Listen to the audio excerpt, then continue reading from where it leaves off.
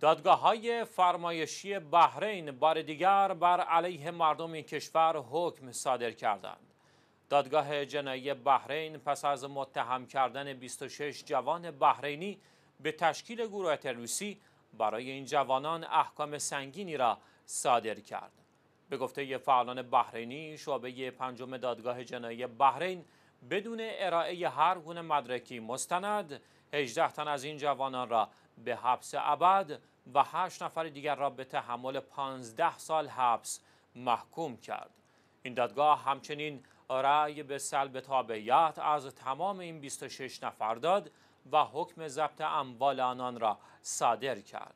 این اولین بار نیست که دادگاه های بحرین چنین احکامی را بر علیه مردم این کشور خصوصا جوانان شیعه صادر می کنند.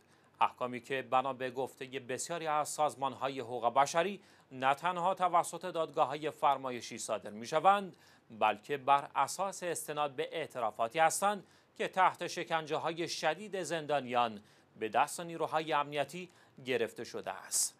بیش از 85 درصد از جمعیت بومی بحرین را شیعیان تشکیل می دهند ولی از داشتن شغل های درجه یک و با حداقل حقوق شهروندی محرومند و اعتراضات مسالمت آمیز آنها نیز توسط نیروهای حکومتی بحرین به شدت سرکوب می شود.